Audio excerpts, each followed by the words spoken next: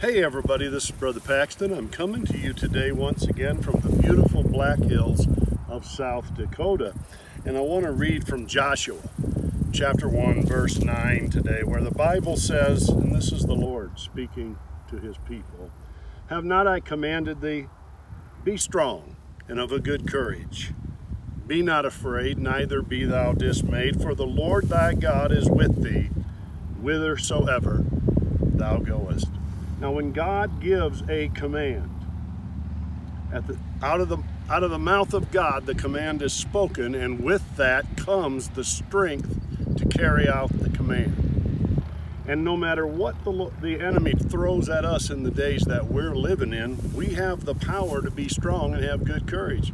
We have the power to advance in the kingdom in the earth even in these days that we're living in right now. Somebody said the other day, well, it's not popular to be a Christian.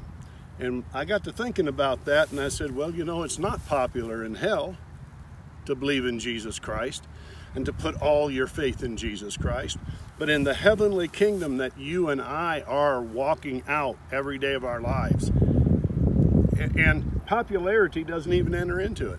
We're pleasing the Lord just simply by seeking Him, learning of his ways, and being a part of what he's doing in the earth in our generation. Have not I commanded thee? Now there, with that, is the power to do it. Be strong and of a good courage. Be not afraid, neither be thou dismayed. We don't, we don't become disillusioned at what we see taking place in the earth around us today because God has given us the victory. He's already put it out there that we are on the side of the overcomer. And he's going to make that happen in your life and in mine because of the power of his word. He's with us wherever we go. If we go into the sick room, God is there. If we go into a place where we don't have enough finances to make ends meet, God is with us there. God is with us, showing us ways out of that situation. Sometimes God's deliverance takes you through a situation and he teaches you and he shapes your life in those hard times that we face as a result of life. That's why David could say in Psalm 23 verse 4, even though I walk through the valley of the shadow of death, I will fear no evil, for thou art with me. Thy rod and thy staff, they comfort me. So here's David walking through a hard place, but God is there to comfort him.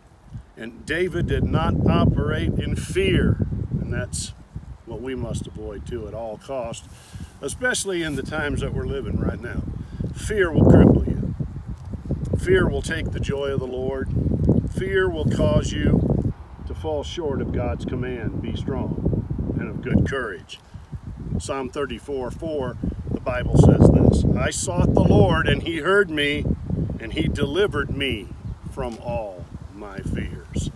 That's my prayer for you today. If you're struggling with a fear in any particular area of life, God wants to deliver you from the fear. It didn't necessarily say He's going to deliver you from that circumstance right now.